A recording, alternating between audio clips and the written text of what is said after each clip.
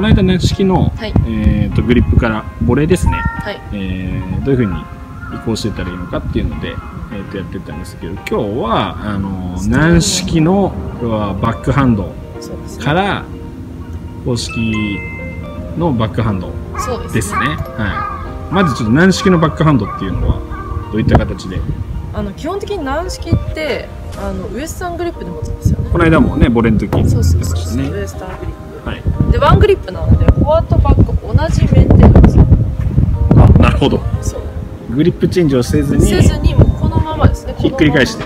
あなるほど、はい。そうなんですけど、まあ、硬式では、まあ、フォアがコンチネンタルグリップの人は変わらないかもしれないんですけど、やっぱ軟式やってる人って基本的にウエスタングリップの方が多いと思うので、そうウエスタングリップからしっかりとグリップチェンジをしてでバックハンドをする、はい、ぶっちゃけ言うと、はい。その片手バックあるじゃないですかそのはい。軟式打ちの、打てなくはないかなっていう印象。その男性とかで、結局今のティームとかがそういった打ち方に僕は近いかなと思うので要はラケットとガットの進化によってそういったグリップでも要は飛ぶようになったから打てるんじゃないのっていう人もいるんですよね、はい。中にはね。ただやっぱそれには筋力とかやっぱそういったこう手首の強さだったりとかっていうのが求められてまあ軟式と公式のやっぱその違いって、まあ、ボールもやっぱ当然柔らかさ。ボールもそうなんですけど軟式の方が自分からボールに向かっていく。あー来ない公式はそうですね。公式はどっちかっていうと来るのを待って。まあそうです、はいまあ、あの短いボールとかチャンスボールだったらちゃんと前に入ってるんですけど、基本的にはそこが違うのかな弾んでくるから基本迎え入れる感じのが強いからはい、そこはちょっとそのグリップだと相当多分頑張ら多ないと。分相当力がいりますよね。こういう高い高い打点なんか多分きついですよね。そうですね下がっててしっかりグイッと打つんだったら話別ですけど、だったらやっぱ両手とかうん。片手の、まあ、手の甲で打つ分はいはい。は力が入る、まあ、片手だったらそうそうですね。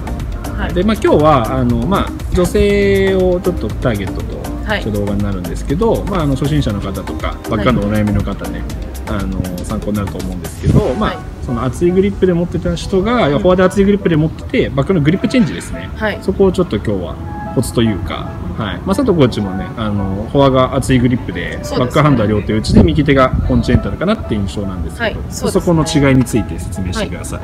えっと、結構私見てて思うのが、はい。あのフォアのグリップで打ちました。でバックの時にフォアのグリップのまま左手両あの、まあ、両手で持ってバックで打つ方はい。結構見かけるんですけど、これやっちゃうとあのどうなるかっていうとちょっと親子ボールはいボール出してえっとのグリップのまま両手で持ってバックのはいバージョンですね、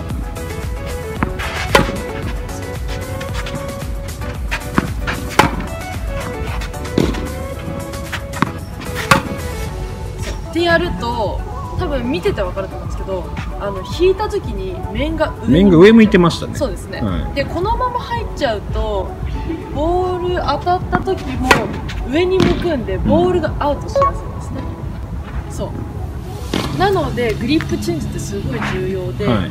そう右手をコンチネンタルグリップ。はい。そう左手はラケットを持ってくるってやってあげれば引いた時にラケットの方がまっすぐになるので、この間のボレーの時と同じですかね。あボレーの時もこの間同じ握り方。と同じ持ち方はい、左手は面に合わせて、はい。えー右手はコンチネンタルグリップで OK。はい、ってやってあげると引いた時に面がまっすぐ向くのであそう面がまっすぐアウトしにくくなります、うん。構えた時のその面の向きが全然違うと思うんですけどそうですね。やっぱり今見てると厚いグリップで持ってて右手が。そうで左手が左そうだとやっぱり喧嘩しちゃう感じですねやっぱり。そうですね。そこのローテーションをうまくやらないと。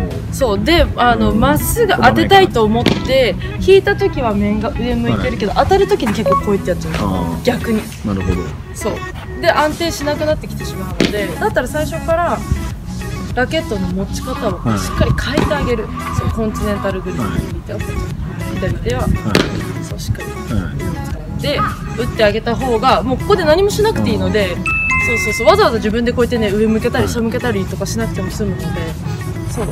まあ楽っちゃ楽ですよね。力の加減が多分軟式から移行されてる方とかは、は特に女性の方でもそうだと思うんですけどやっぱり右手に力が入って多分引いちゃってそうですね。やっぱり右手手動で振っちゃう方が多分多いはい。かなって僕いつもレッスンで軟式上がりの方とかレッスンさせていただく時とかでバックハンド悩んでる方は結構多い気がするんですけど、やっぱり腕の感覚も変えなきゃいけない。握るパワーそうですね。もう左手で引くイメージ。うん。もうひあのバック突きは左がメインだと思ってくださまあ、これはいつもね佐藤コーチがあの気をつけてることですよね。一番ねねバックハンド打つ時で、はい、あのなので私はよく初心者の方とか、バックが苦手な方はあの左手で打ってもらう。うん、まずねそう。で左手の感覚を覚えてもらってで右手は本当にもう持ってるので、はい。ちょっと握ってるぐらい、はいそう。で打ってもらうっていうふうにやってもらってこの間の T プレスさんの土井コーチが、はい。あのおっしゃってたのはやっぱりこう順番に握っていく小指の方から順番に握っていくと力が入りやすいっていうのは言ってたんですよね、うんうん。だ小指が結構みんな力が入ってないからね。左手が使えてないんじゃないのっていう感覚っていうのを言っててやっぱりこう指の感覚も引いた時からある程度小指の方に力を入れておいてインパクトに向けて徐々にこう人差し指の方に移行していくっていうふうにおっしゃってたんですね。そうですねはい最初からやっぱ人差し指の方に入っちゃうと面が伏せやまあ、すそれもありますね逆に力入れすぎるのもやっぱりで力が入っちゃうと今度フレームが下がってこなくなっちゃうのでああヘッドダウンねそうヘッドダウンがしなくなっちゃうのでそうボールのあのフラット系は打てるかもしれないけど今度スピン系がね打ち抜く高いボールなんかそれで OK ですか逆に、高いボールはそう全然いいんですよ。はい、ちょっと一回打ってみましょうか。うんうんうん。あとまそうで肩のすね。はいもう一回いきましょう。うん。まあでもやっぱり今ちょっと最後落としたにしても、ね。やっぱたらけ立ってる状態でそこまでこうヘッドダウンとしないからそういう時は逆に左手はちょっと逆に入れといた方がいいのかなっていう感覚かな。あのそういう時は人差し指の方そう人差し指のお腹の部分を使ってしっかり打ってあげた方が低い時なんか持ち上げなきゃいけない。低い時はラケットをヘッドダウンやっぱして引っ掛ける感じですよあの下にしっかりラケットのヘッドダウンさせてから上げてくることでスピンがかかるのでそうですね。あのあんまり人差し指に力入れてしまうとスピンがかかりづらくなっちゃうかな小指からそうですね。握っていくはいでも右手はほぼ添えるだけという、右手はほぼそれだけ、うん。ここが多分皆さん一番お悩みでいつも多くて。はい。右手抜くの分かってんだけどでも完全に抜いたらダメだはい。結構言ったりする人が多くて。そうですね。なのでもう左手でもうひたすら打つ。うん。ショートラリーとかするときってそんなにあのボール飛ばすわけじゃないから、あの当てるだけでもいいじゃないですか、うんうんそうそうそうそう。あのどこで当たってるのかっていうのを見るのと左手の感覚を養うためにショートラリーやる時とかは逆に左手だけでやってもいいかも。止めちゃってもいいんですか？そういう時って。ボールが飛ばせるんだったら止めちゃってもいや OK あのちょっと振り切った方がいいやっぱり。うんちょっと振り切った方がいいです。あ逆にパワーがそれであの全く出なくて回転だけになっちゃう方なんかは止めてもいいのかなあそうですね。回転かかっちゃう方ははちょっと止めてもいい、うんなるほどそうそうそう、うん日本のもう引退されちゃいましたけど、あの木比優也選手、は今、あのノアの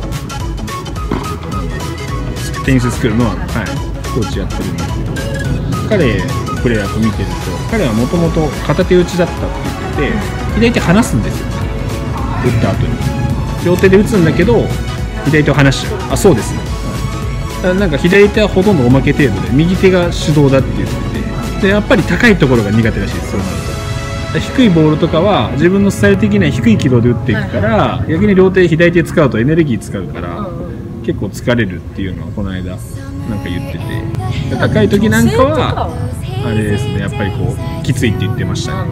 うん。でちょっと最後フォワードバック交互に出すので、はい。グリップチェンジをちょっとどうしてるかっていうのを意識しながら最後何球打ってみましょう。はい。フォアで打ったらここでチェンジ。ここでもチェンジしておいてこっちはそのまま。まあフォア構えてもチェンジ。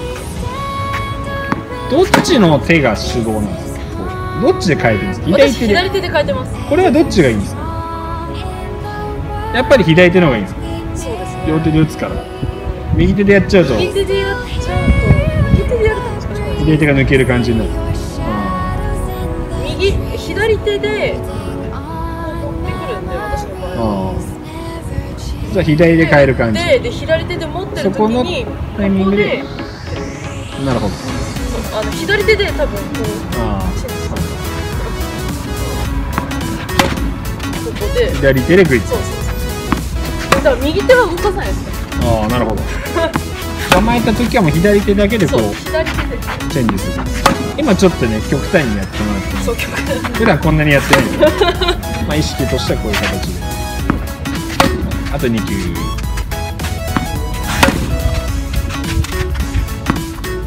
はい。はい、私は左手でもううん。コントロールして右手は浮かせる人。この程度性でも違うのかな。持ってる場所にもよるかそうですね。らこの辺ご意見あったらコメント欄にまあこれはやりやすい方でいいと思うんです。よやっぱ一番はやりやあすい。のどれがいい悪いでもいいやりやすい方を選んでいただければいい。多分自分はこうの方がやりやすいっていう。まあ今日はちょっとあの下半身とか足の使い方とかそれはちょっと別個に置いておいて、あはい。まあそっちも大事なんですけど、はい。ちょっとこのグリップについて、はい、あの力の入れ方というかどういう風にやったらこう移行しやすいかっていうのがねメモだったのでグリップだけお話しさせてもらったんですけど、はい。はい。